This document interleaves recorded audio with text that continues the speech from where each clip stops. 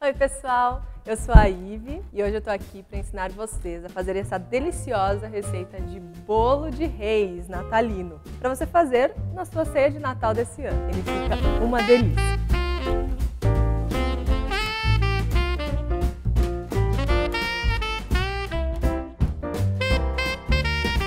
Bolo de reis é uma receita super tradicional de Natal e ele é tipo um panetone só que em formato de bolo. Fica super saboroso, tem aquelas frutinhas cristalizadas que eu amo. E essa receita, assim, ela não é tão saudável, mas a gente já ensinou aqui no Natal passado uma receita bem saudável de bolo natalino. E dessa vez eu trouxe a receita mais tradicional, claro, vegana.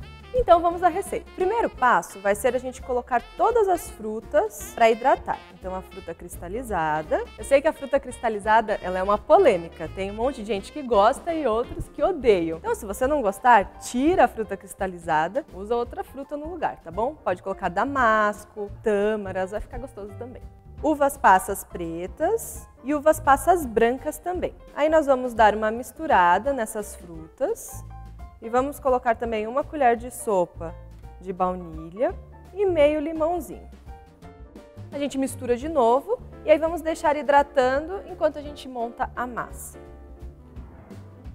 O próximo passo vai ser a gente misturar todos os ingredientes líquidos e também o açúcar. Nós vamos colocar o óleo, um leite vegetal. Eu fiz aqui o leite de nozes, porque eu acho ele super prático. É só bater no liquidificador e você nem precisa coar. Vamos acrescentar também o vinagre, uma pitadinha de sal. E aí nós vamos acrescentar também um pouco de noz moscada. Agora com o fouet a gente mistura todos esses ingredientes líquidos e vamos acrescentar o açúcar aos poucos. Eu gosto de colocar o açúcar nos ingredientes líquidos para que ele dissolva bem antes de misturar com o restante da massa. Bom, agora a gente vai reservar os ingredientes líquidos e vamos fazer a mistura dos ingredientes secos. Nos ingredientes secos, nós vamos misturar a farinha, as nozes. E aí a gente vai acrescentar aqui também os fermentos. Então vai ser uma colher de fermento químico e uma colherzinha de chá de bicarbonato. Agora, naquela mistura de frutas que a gente deixou hidratando, a gente vai acrescentar duas colheres de farinha, para que quando a gente misturar essas frutas no bolo, ela não fique grudada uma na outra ou fique no fundo da forma e aí o bolo fica feio, né? É só jogar a farinha e misturar. Nos ingredientes líquidos, nós vamos acrescentar a mistura de farinha. É só ir colocando aos poucos e mexendo com o fouet mesmo. Claro que se você tiver batedeira e preferir usar a batedeira, pode fazer na batedeira. E vai misturando suavemente o líquido com os ingredientes secos.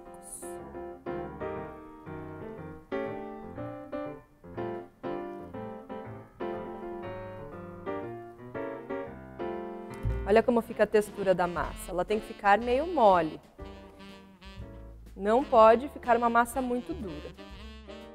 Pronto, agora nós vamos acrescentar as frutinhas e misturar novamente devagar, porque os fermentos já estão reagindo.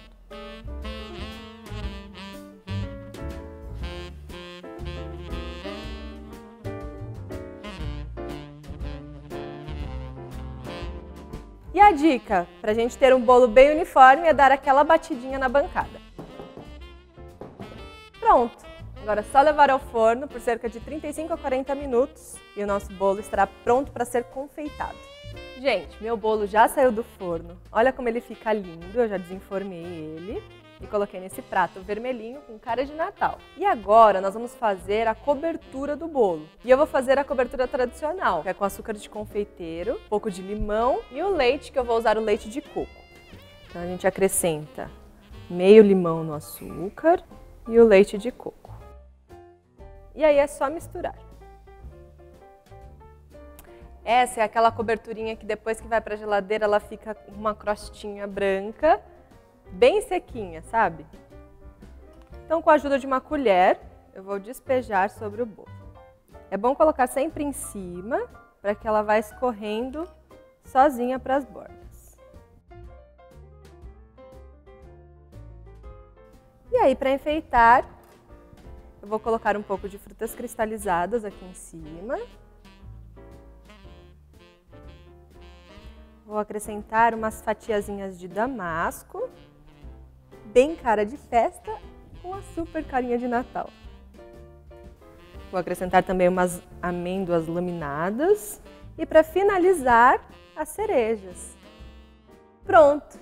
Esse é nosso bolo é só a gente colocar agora na geladeira por cerca de 10 a 15 minutos que a crostinha branca já vai ficar toda formadinha. Pessoal, meu bolo já está pronto, saiu da geladeira. Olha como ele fica super bonito, com uma crostinha branca por cima e cheio de frutinhas por dentro. Vamos ver se realmente ficou gostoso. Gente, fica muito gostoso. Experimente fazer na sua casa, depois conte aqui pra gente o que você achou dessa receita. Se você gostou desse vídeo, já se inscreve aqui no nosso canal, deixa seu curtir, é claro, né? Para incentivar a gente a postar mais vídeos para vocês todas as semanas. A gente te espera aqui. Tchau, tchau!